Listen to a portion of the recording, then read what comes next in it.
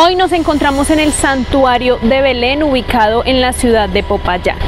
En este lugar, en la cruz que está a mis espaldas, sucedió algo histórico que marcó la memoria de la ciudad y de las personas que habitan este lugar.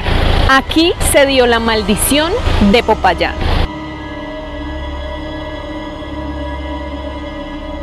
El santuario de Belén, la iglesia de Belén, inició su construcción el 8 de septiembre de 1681, cuando el obispo Cristóbal Bernardo de Quirós puso la primera piedra, la bendijo y sobre esa piedra inició esta hermosa construcción.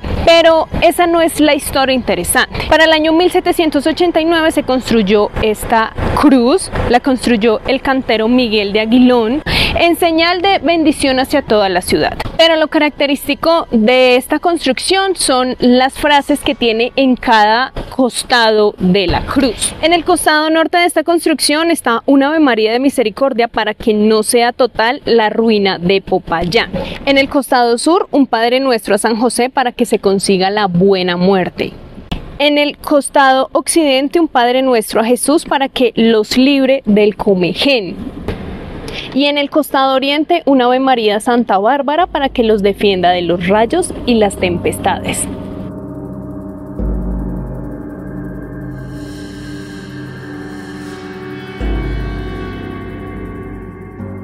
En el año 1875 esta cruz fue testigo de la maldición de Popayán. La noche del 7 de marzo de 1875 Popayán vivió una reunión de liberales que provocó una rebelión entre la comunidad. Hace muchos años la religión en Colombia, especialmente la Iglesia Católica, era muy popular y mucha gente profesaba la fe y para todos los ciudadanos era muy importante estar en alguna comunidad religiosa, alguna iglesia o alguna secta.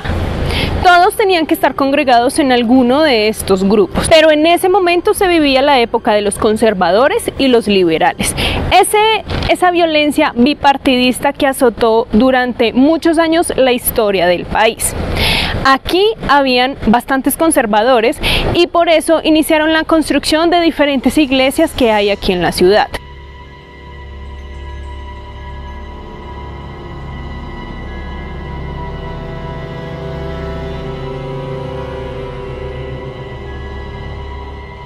Para estos años se vivió la ley de tuición bajo el mandato de Tomás Cipriano de Mosquera. Esta ley hablaba que ningún ministro de ninguna religión, culto o secta podía profesar sus ideales, su fe sin el permiso del gobierno colombiano.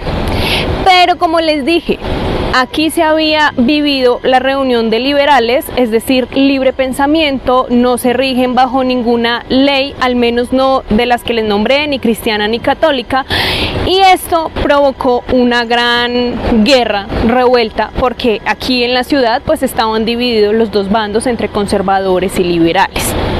Cuando se vivió esta reunión, esa noche del 7 de marzo llegaron hasta aquí y sacaron a rastras de la iglesia al obispo Carlos Bermúdez Pinzón. Lo empezaron a humillar, a tratarlo mal y los liberales gritaban, muera la religión, muera la iglesia, nada de esto queremos aquí en Popayán que se acabe todos estos mandatos de la Iglesia Católica para dominar la mentalidad de los ciudadanos, así que todos los padres, los obispos, arzobispos, eh, toda la jerarquía de la Iglesia Católica fue expulsada de Colombia.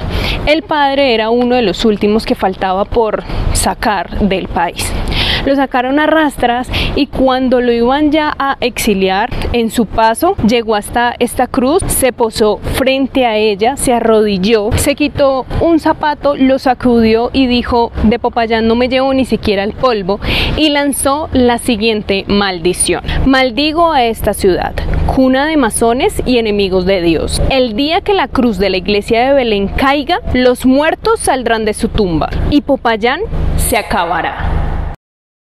Estas palabras fueron pronunciadas por el obispo y desde ese momento esa frase se quedó marcada en la historia de la ciudad, en la memoria de los pobladores y empezó a regarse como pólvora por todas las calles. todos empezaron a temer que tal vez esta profecía se cumpliera. Luego de pronunciar estas palabras, lo encadenaron a una carroza tirada por dos caballos y lo llevaron con rumbo hacia el puerto de Buenaventura, donde fue sacado del país a rastras, humillado, golpeado, con destino a Chile.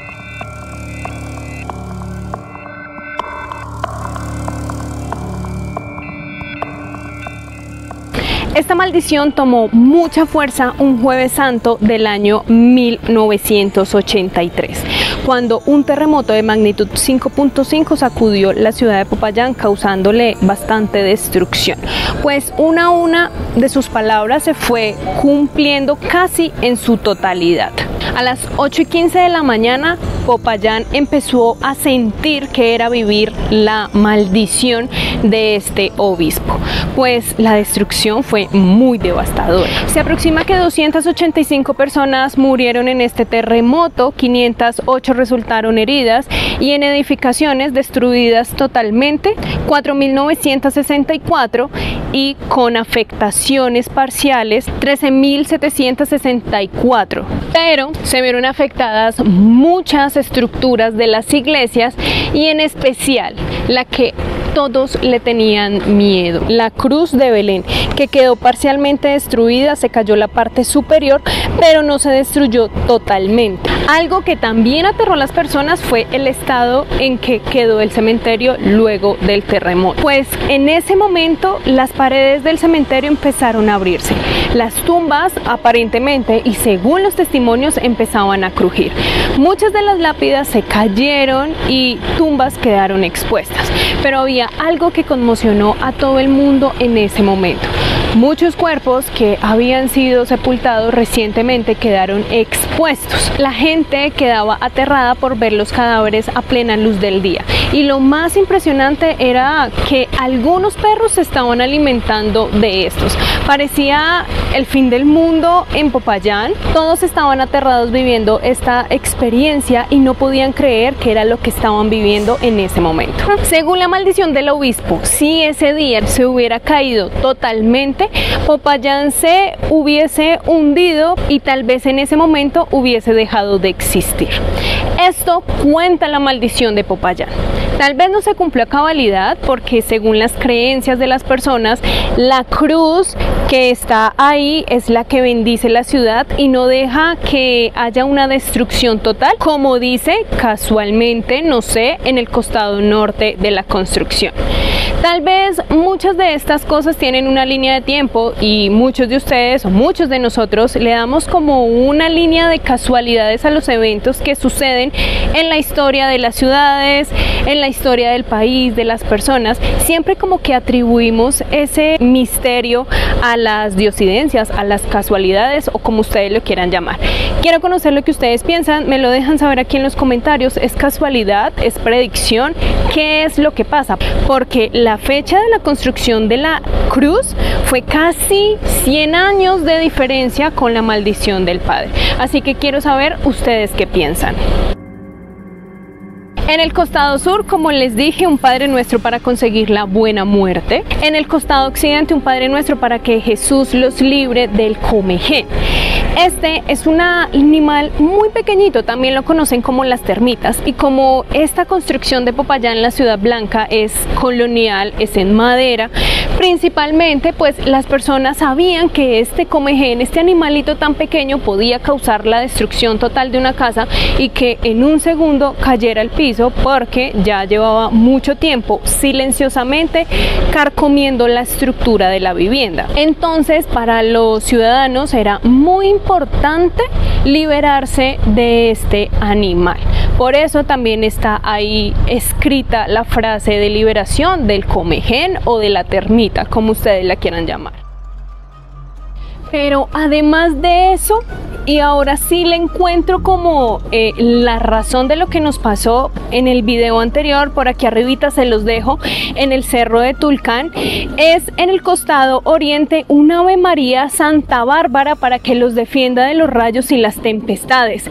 Resulta que Popayán es un lugar donde la lluvia es muy frecuente, pero sobre todo las tormentas eléctricas. Aquí caen muchísimos rayos y hay una frase popular dentro de los pobladores que dice acordarse de Santa Bárbara cuando truena. Es decir, cuando escuchen truenos, relámpagos o vean tormentas eléctricas, por favor hagan una oración a Santa Bárbara para que saque de la ciudad estas tormentas. Santa Bárbara es la, es la patrona, por aquí lo tengo anotado para que no se me olvide ninguna de las profesiones, es la patrona de los artilleros, ingenieros de armamento, mineros, trabajadores de cantera, fundidores, bomberos, pirotécnicos, arquitectos albaniles, construcción, constructores y cadáveres de tumba. Pero también se le da el título a la protectora de los rayos, fuego, la muerte repentina sin confesión y la provocada por explosiones porque ella históricamente y a través de los siglos es la protectora de los truenos.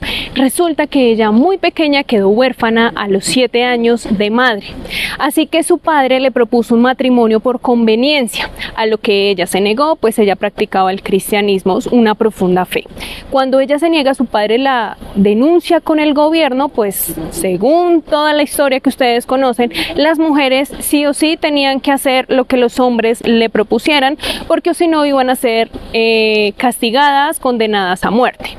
Ella, por supuesto, fue condenada a muerte, a decapitación, pero antes de esto, la torturaron mucho para ver si cambiaba de opinión y aceptaba el casamiento, a lo que ella finalmente no aceptó, murió como mártir decapitada con la espada de su propio padre. Cuando la decapitan, a su padre lo fulmina un rayo y desde ahí inicia la creencia que ella es la protectora de las tempestades, los rayos y los asuntos que tengan que ver con explosiones, fuegos, rayos y todas las profesiones que les nombré anteriormente. Este lugar tiene muchas cosas lindas y también muchos misterios, como aquí está la Virgen de Santa Bárbara, acabo de ver, y hay muchísimas placas de agradecimiento a la Virgen de Santa Bárbara y al Santo Exeomo de Belén, que es al que le rinden bastante devoción en este lugar.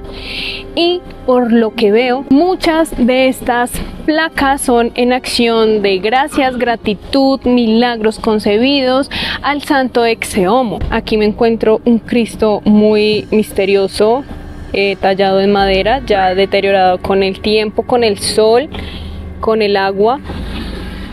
Muy curioso, por supuesto.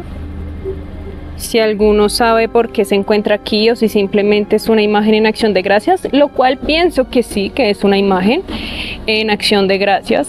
Está aquí, pero realmente se ve algo misterioso. Aquí está la iglesia y pues en este lugar hacen peregrinación los en la Semana Santa, en la Semana Mayor, están las diferentes estaciones de el recorrido de Cristo hacia la cruz y no solamente empieza desde ahí, empieza desde abajo todo el recorrido, hay un caminito que va subiendo, pero definitivamente este lugar es muy lindo y ustedes deberían también venir a visitar eh, estos sitios, no solamente turísticos por piscina, comida y todas estas cosas, sino también como por conocer parte de nuestra cultura y de nuestra historia.